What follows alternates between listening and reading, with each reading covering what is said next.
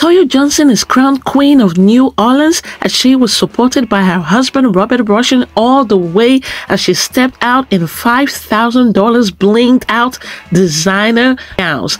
It was a whole weekend of fashion statement, blink, and glitz. But before we get right into all of that, hey kings and queens, welcome back to the channel, it's your girl Royalty, back with another celebrity relationship gist. To my returning subscribers, you guys are the real MVP. And if you're new, you're so welcome. Please consider being a part of us by hitting the subscribe button and turn on the post notification bell to not miss another video. Thank you.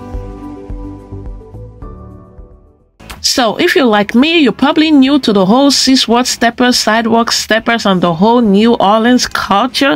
But the Sixth Ward Steppers is a social aid and pleasure club. In New Orleans, the New Orleans have very rich culture, vibrant, colorful, fashionable steps and moves, y'all. They have it all. Very rich, dazzling culture that you cannot ignore. Now, it was a big weekend for the Sixth Ward Steppers as the Social Aid and Pleasure Club hosted a Great Gatsby themed ball. For this year, 2024, the Sixth Ward Steppers crowned New Orleans businessman, entrepreneur, and restaurateur Larry Morrow as king and named New Orleans native reality star and businesswoman Toya Johnson Rushing as queen. Although Miss Toya Johnson Rushing was the queen without her personal king, Mr. Robert Rushing, he made sure to be there by her side, standing with her all the way, looking sharp in his own suit. The Nola new king, Morrow, looked sharp, but it was Toya Johnson Rushing who stole the show with her glamorous gowns and headpiece dripping rhinestones. Toya Johnson Rushing is up to queenly things in the New Orleans.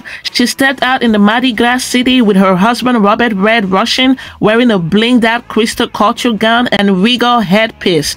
Toya wore the glamorous outfit as she was crowned the queen of the 2024 Sixth Ward Steppers Great Gatsby Ball.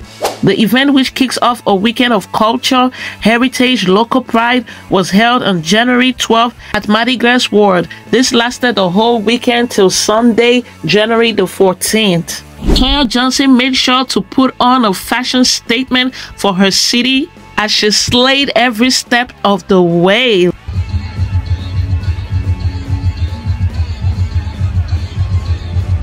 Literally, being a native of New Orleans, Toya had no problem putting on for her city this weekend in the most fashionable way possible. Slaying in two ensembles fit for a queen, she sparkled and dazzled with every step she made as she stepped on the street. Toya's first outfit centered on a 5,000 over-the-top silver gown from Abina Dila. The dress featured a fitted and fashionable corset lace bodice with feathered, broad shoulders and a must-have dramatic train.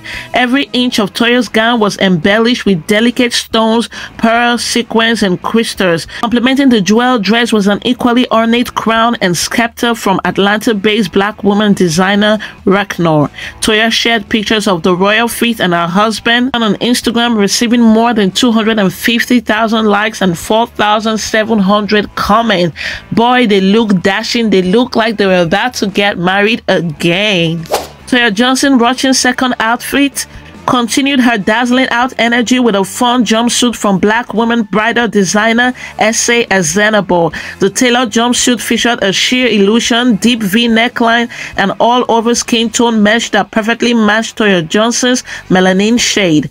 On top of the brown nude fabric were light pink, blue, and white flowers and sequins and lace with some fringe detailing. And Reginae Carter, Toya Johnson Rushing's daughter, was not left out like mother like daughter. Reginae Carter is had her own flapper fashion moment. She also slayed as a member of her mother's royal court. She too understood the assignment. She ate and left no crumbs. While matching other members of the court, Reginae dazzled in a satin champagne gown with feathers, alluring ruching, and a high split. She accessorized her look with a feathered headband, a natural tone 4 stole, and long satin gloves. More and more, Reginae Carter continues to look like her queen mother mom, Toya Johnson Rushing. It was a colorful, vibrant event, especially with the tram sidewalk steppers.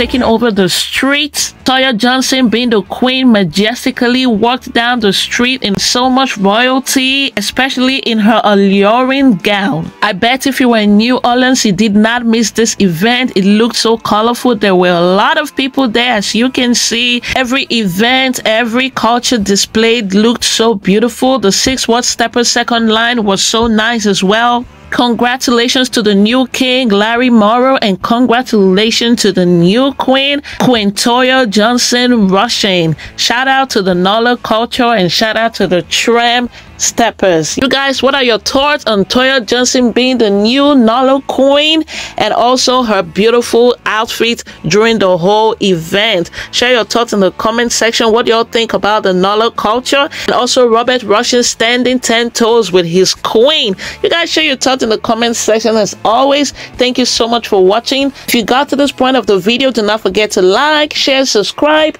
and turn on the post notification bell to not miss another video. And until until the next one, remember to pray, work out, work smart, and slay.